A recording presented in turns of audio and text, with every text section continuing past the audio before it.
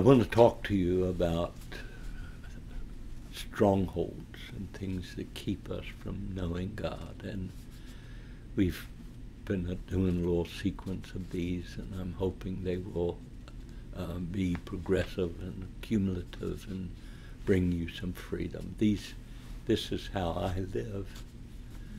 It's how I would want to teach others how to live. And um, I want to talk for a moment about understanding the kingdom. Most people, honest to God, think there is some place in eternity where the kingdom is and they're all going to go there.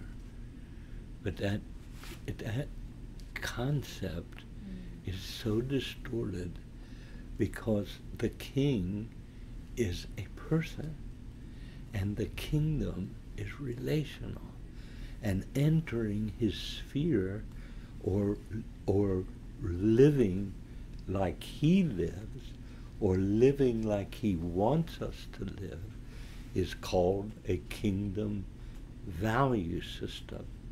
A kingdom value system means that the kingdom of God is within you. Now, every all the translations and the hundreds of men. I I've been at this for so many years. I just laugh because I, I think talk about uh, inadequate, and and and of course I I remember, may God have mercy on my soul, saying to our church I was pastoring. It was growing. We were.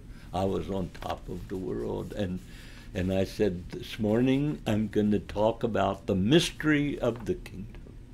And when I'm done, there will be no more mystery. I thought, it's wonder the Lord didn't take me out with a lightning bolt right there. Now, here, listen to me. We're not going to some kingdom.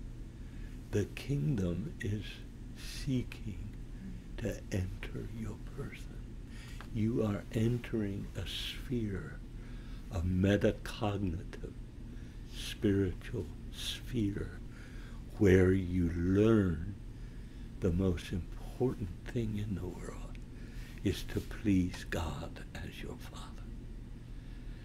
The moment you see that and understand it, a thousand things start to make sense. And then you know, buying the field and, and trading pearls and all the things, it starts to make sense because the kingdom is in here, not out there.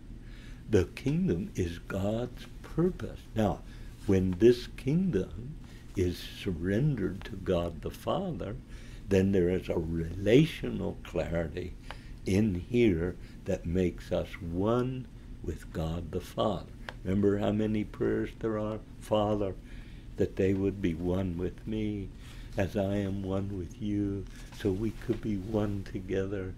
Oh my goodness, the beauty of all this once it starts to make sense, but it won't make sense until you say, I want the kingdom in here.